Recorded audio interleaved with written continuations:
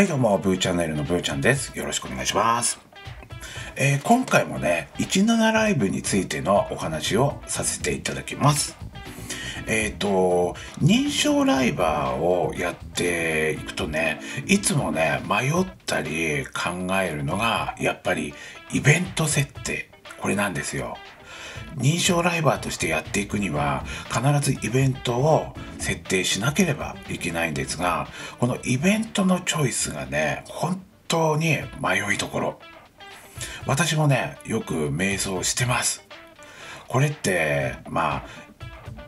選んだはずなんだけれどもそのイベントが思うようにいかないっていうことは多々あります。そんな私が言うのもなんなんですが、イベントを選ぶ際に注意することとして、まあ、自分はね、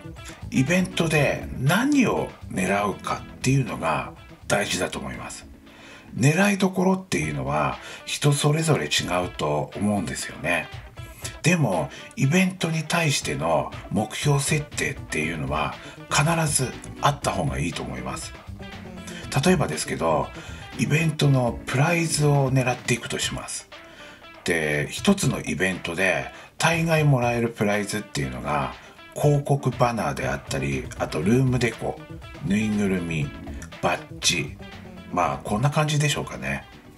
他にもイベントによってはいろいろあるんですが、大雑把に言うと、まあこのくらい。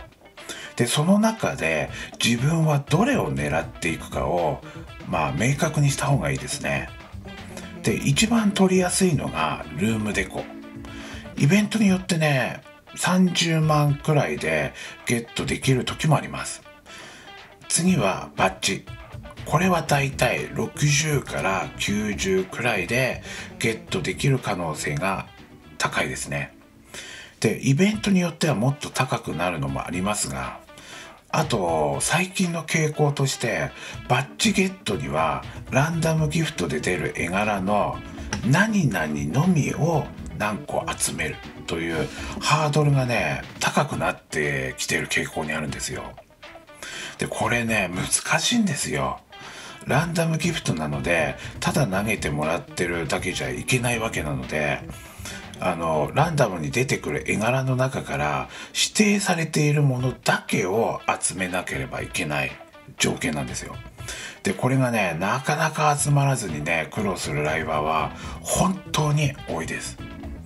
で次はぬいぐるみですがこちらはねかなりばらつきがありますね。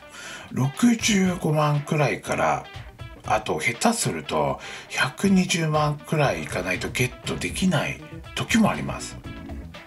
そしてね一番難しいのが広告バナーです。これはあの要は自分のあのアイコンが広告として表示されるわけですよ。だから宣伝効果バッチリなんでみんな欲しいわけですよね。でこれはね本当にハードルが高くてだいたい上位3位くらいまでって大体決まってます。で人気イベントだとこれをゲットするのに数百万から1000万クラスまでいかないともらえない場合もあります。でもね中にはあのこれらの今まで言ったやつにこだわらずに単純に順位だけを狙いに行くっていうのもあります。えー、とこれ50位以内が目標とか20位以内10位以内が目標とかプライズゲットよりも順位にこだわる人もいるわけです。でその目標順位を狙う過程でプライズのギフトに達成してプライズがゲットできている場合もあるのでイベント慣れしてない人はこの順位をまず狙っていくのもいいかもしれません。